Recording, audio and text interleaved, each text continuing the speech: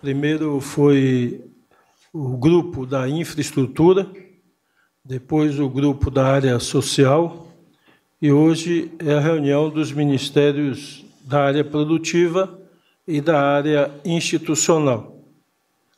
Essas três reuniões, elas serviram, e a de hoje vai servir, para preparar a reunião da próxima segunda-feira, que é a reunião envolvendo todos os ministros, aí sim, para uma apresentação final dos 100 dias de governo, onde nós faremos, portanto, esse balanço inicial, que é apenas um balanço das primeiras medidas, e onde acenaremos já na próxima segunda também para o conjunto de outras medidas que vão decorrer ao longo do ano. Então, presidente, lhe passo a palavra aqui para a saudação inicial e, em seguida, nós é, iniciaremos a apresentação com o vice-presidente da República, falando, e assim como ele solicitou, já fazia uma fala como ministro para apresentar.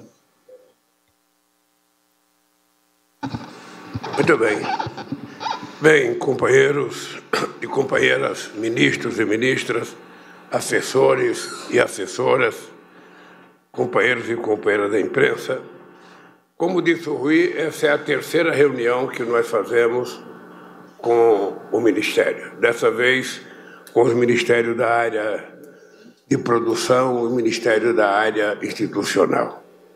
O objetivo dessa reunião é fazer um levantamento de como está sabe, cada ministério nesse momento, como ele está preparando as suas atividades, porque na segunda-feira próxima, dia 10, nós vamos ter a reunião dos 100 dias de governo, em que a gente vai não só fazer avaliação daquilo que nós conseguimos recuperar para colocar em funcionamento, e nem tudo ainda está 100% funcionando, porque quando você decide fazer uma política pública, às vezes ela demora alguns dias para acontecer, mas nós já recuperamos quase todas as políticas sociais que existiam nesse país, que tinha sido desmontada pelo governo anterior, e agora elas estão funcionando a todo vapor. Nós ainda parece que falta água para todos, ou luz para todos, ainda falta lançar esse programa, que acho que é o último programa social que nós vamos lançar, e na próxima segunda-feira, ao, ao, fazer uma avaliação dos 100 dias, a gente vai ter que anunciar o que, é que a gente vai fazer para frente, porque o 100 dias vai fazer parte do passado. A gente vai ter que discutir o que, que a gente vai fazer do ponto de vista do investimento na área industrial, na área agrícola, o que, é que a gente vai fazer na área de ciência e tecnologia. Tem muita coisa para a gente investir, sobretudo em obras de infraestrutura tem recursos para que a gente faça os investimentos necessários. E nós, então, temos muitas obras paralisadas que agora muitas já começaram a fazer e muitas vão começar a partir da segunda-feira, quando os ministros anunciarem o plano de trabalho para depois dos 100 dias. Eu estou convencido que uh, o país vai dar um salto de qualidade. Uh, eu disse para o Haddad na semana passada que eu não concordo com as avaliações negativas de que o, o PIB vai crescer 0 não sei das quantas, 0,1 de que o PIB não sei das quantas. Vamos ver o que vai acontecer quando a chamada economia micro, pequena e média começar a acontecer nos rincões desse país. Vamos ver o que vai acontecer quando as pessoas começarem a produzir mais, quando as pessoas começarem a comprar mais, as pessoas começarem a vender mais a gente vai perceber que a economia vai dar um salto, eu diria, importante. Eu ainda não vou dizer aquilo que eu disse em 2005, que foi um motivo de muita chacota por parte da imprensa, quando eu disse o milagre, o milagre do crescimento. Ah, ah, quando a economia brasileira cresceu 5,8% e a imprensa especializada achava que não ia crescer. Eu acho que a gente vai crescer mais do que os pessimistas estão prevendo. Ah, vai acontecer mais coisa no Brasil do que as pessoas estão esperando que vai acontecer. E vai depender muito, mais, muito, mais, muito da disposição do governo. Vai, de, vai depender muito da disposição e do discurso do pessoal da área econômica, vai depender muito da disposição e do discurso do setor da área produtiva, porque se a gente ficar apenas lamentando aquilo que a gente acha que não vai acontecer, ninguém, ninguém vai investir em cavalo que não corre. Né? Se você está numa corrida de cavalo, dizendo que o seu cavalo é pangaré, que o seu cavalo não tem das contas, que o seu cavalo está com gripe, que o seu cavalo está cansado, que o seu cavalo.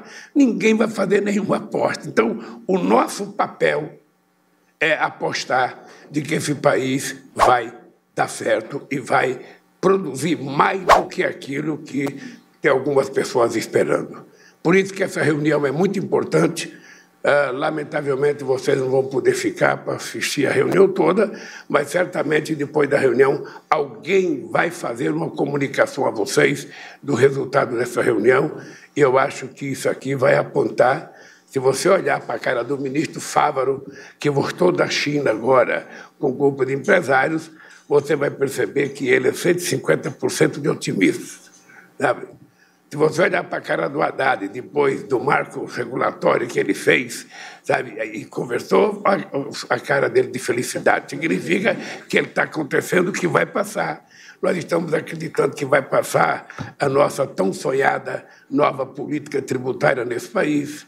Nós estamos achando que vai acontecer tudo aquilo que a gente anunciou de investimento em bolsas de estudo, sabe, no nosso Ministério da Ciência e Tecnologia, no Ministério da Educação e nós estamos acreditando que esse país vai voltar a ser um país em crescimento, em geração de emprego, que essa é a nossa obsessão agora. A obsessão do governo agora tem que ser fazer os investimentos, criar condições. Eu estou muito otimista, Rui e Haddad, companheiros, com a proposta de PPP que nós vamos colocar em discussão. Estou muito otimista. E nós temos que ter como obsessão fazer esse país voltar a crescer.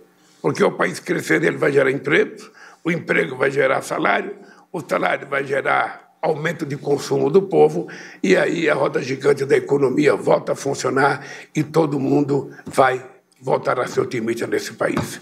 Boa reunião. Me parece que o primeiro a falar é o companheiro Geraldo Alckmin, ministro do Desenvolvimento, Indústria e Comércio. Muito bem. Tchau, imprensa.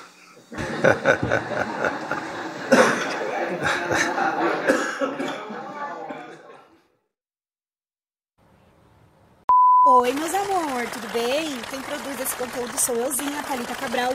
Então, para você valorizar, por favor, me ajude a dar mais relevância. Deixa um like, comenta, compartilha, ajuda muito. Se inscreve no canal para eu saber que você tá curtindo e também para esse vídeo chegar em mais pessoas. Thalita Cabral, cultura, música, entretenimento e um pouquinho de política.